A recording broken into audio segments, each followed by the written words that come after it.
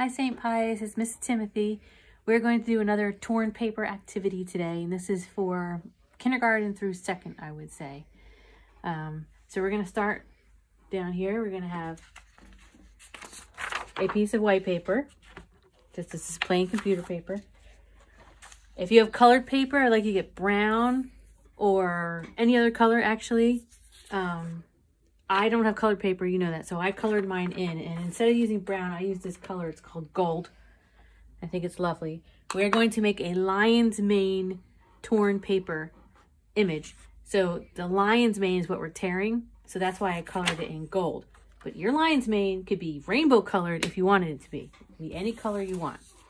So the first thing we do is on our plain piece of paper, we have to draw the lion head and body. So I'm going to draw a kind of a little head towards the top of the paper. Just a round circle's fine. All right. But then I'm going to make kind of a big body because I this is this is half of a piece of computer paper and we're going to tear the strips of this to make the lion's mane and they're going to be pretty big, pretty long. So I'm going to make a big body. I'm going to take his like his back here and make him really long. Lions with manes are the boy lions, so that's why I'm calling this a he. And then I'm going to take it and give him some big, long front paws here.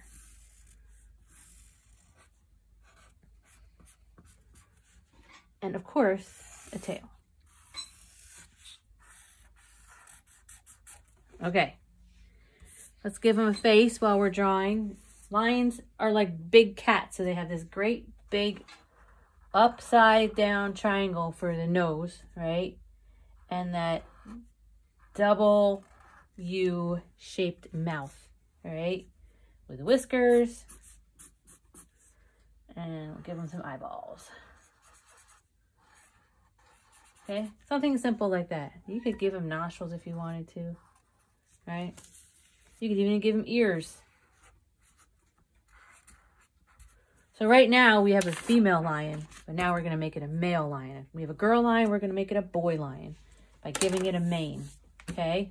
So we have our lion drawn, and we have this piece of brown paper. If you have brown paper or if you colored into paper, cut it in half. This is a piece of computer paper, and I cut it in half to make the long strips. So now we're going to tear the paper, all right? We're going to tear it into all these strips. Why do you have to move so much? My camera girl's going up and down. Sorry for getting dizzy.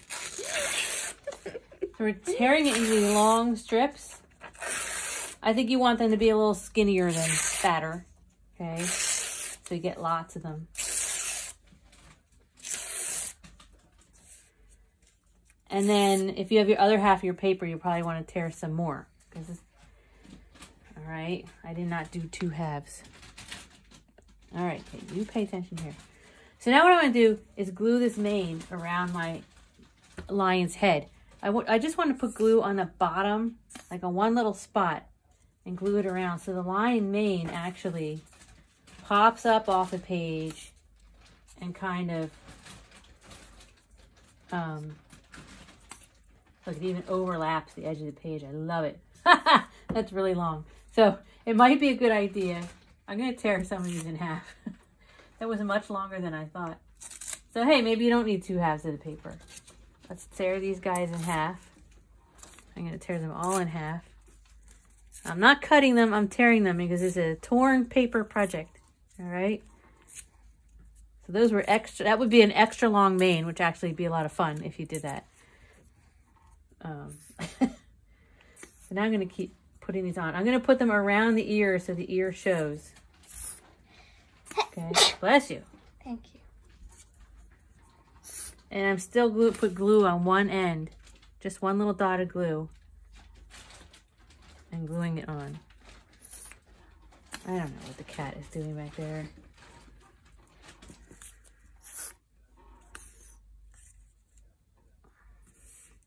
remember the mane goes all the way around the head. Right now that just looks like a lot of hair. Funny. it goes all the way around. That's why we gave the lion a nice long body. So you could still see the body past this long mane. Hey! My glue was traveling.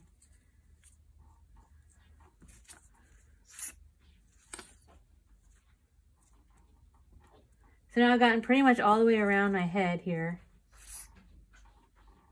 And what I'd love to see you do is then do some overlapping pieces of the, of the mane, right? To give it extra depth, extra texture.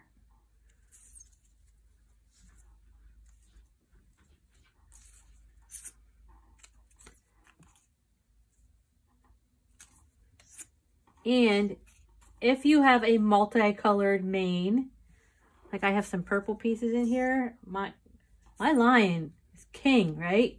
So give him some royal colors in his mane. You do not have to do this. I'm just doing this for fun. Okay.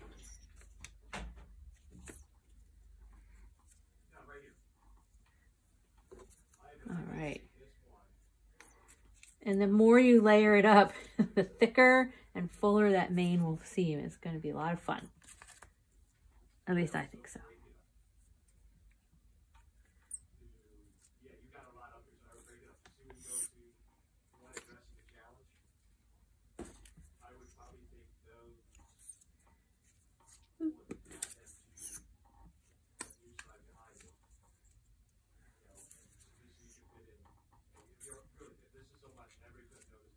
And it really is that easy.